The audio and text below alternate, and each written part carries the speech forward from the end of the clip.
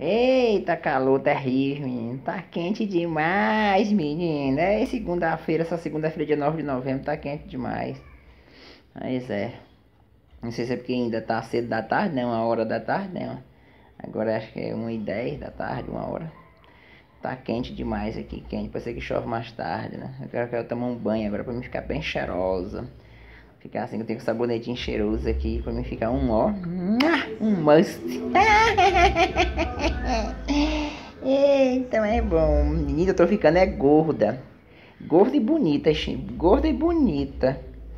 É deste jeito. gorda, bonita e cheirosa, maravilhosa. Eu sou maravilhosa, né?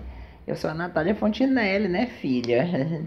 Eu sou chique, eu sou bonita, sou maravilhosa, sou cheirosa e sou gostosa. Boa tarde. Tá gostando do calor aí? Aí também tá fazendo calor?